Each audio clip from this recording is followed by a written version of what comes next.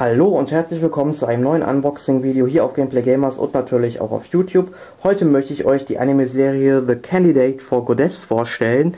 Die ist vor einiger Zeit auf DVD erschienen, eine Blu-ray-Fassung gibt es meines Erachtens nach nicht. So sieht die Box dann von der Seite aus, also vorne äh, habt ihr dann das ähm, Toxic Sushi und das Nippon Art Logo, darunter nämlich dann noch ein Artwork und hier dann der Schriftzug The Candidate for Goddess. Ich hoffe, man kann das jetzt so ein bisschen erkennen, weil ich sehe gerade an der Kamera, ist, dieses Dun ist die dunkle Packung nicht so ganz gut. Und äh, drei DVDs sind hier enthalten. Ja, so sieht die Box von der Rückseite aus. Ich halte sie euch gerne mal in die Kamera, dann könnt ihr den Text gerne durchlesen. Sollte man halbwegs gut erkennen können, hoffe ich zumindest. Ja, jetzt verzieht sie leider schon wieder. Aber hier sind dann auch noch ein paar Artworks drauf und Screenshots aus der Serie. Erinnert so ein bisschen an Gundam Wing, hat auch nur äh, 13 Folgen und kann damit nicht so ganz die Qualität erreichen, ist aber trotzdem eine nette kleine Handlung. Jedenfalls liegen alle Folgen im Format 4 zu 3 vor, äh, das Tonformat äh, 5 zu 1 äh, Dolby Digital in Deutsch und Dolby Digital 2.0 auf Japanisch. Es gibt deutsche Untertitel, Laufzeit 300 Minuten, das sind dann bei 12 Episoden circa ja, äh, 25 Minuten pro Folge und extra Sticker und Poster, also das typische Nippon Art Programm. Ach so, was man sagen sollte, ich habe das natürlich als Muster von Nippon Art bekommen und habe entsprechend auch schon eine Rezension auf Gameplay Gamers veröffentlicht, die ihr sehr gerne durchlesen könnt.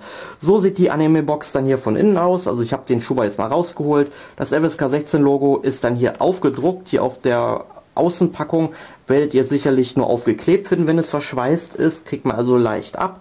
Hier muss es dann eben drauf sein. So sieht dann nochmal das Artwork auf der anderen Seite aus.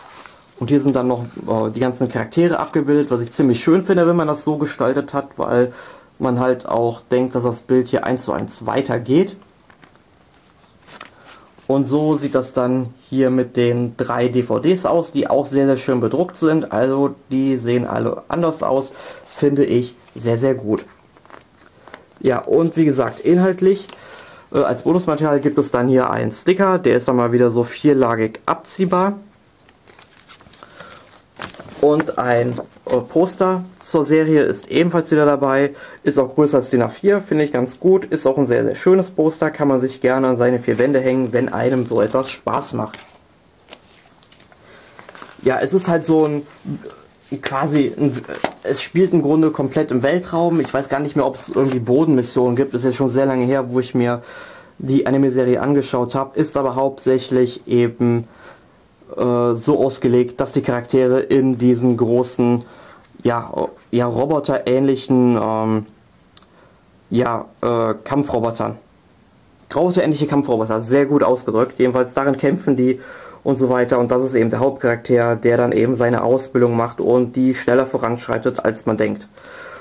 Ja, ist auf jeden Fall ein sehr netter Anime und hier kann man jetzt zum Beispiel an der Box noch erkennen, das dürfte beim Versand passiert sein, dass es hier was eingedrückt wurde. Ich hoffe nicht, dass das passiert, wenn die Box noch verschweißt ist, aber sollte mal erwähnt sein, achtet mal drauf, wenn ihr es kauft. Wenn ihr Sammler seid, ist das natürlich ärgerlich, wenn das dann so auf der Rückseite im Regal steht. Man sieht das ja irgendwie doch. Gut, ähm, wenn ihr irgendwelche Fragen zu The Candidate for Goddess habt, schreibt mir die gerne in die Kommentare.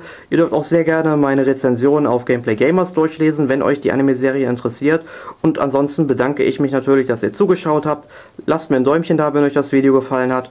Ihr dürft mich auch sehr gerne abonnieren und es würde mich natürlich freuen, wenn ihr auch beim nächsten Mal wieder zuschaut, wenn ich irgendetwas unboxe. Also nochmal vielen Dank und bis dahin. Tschüss.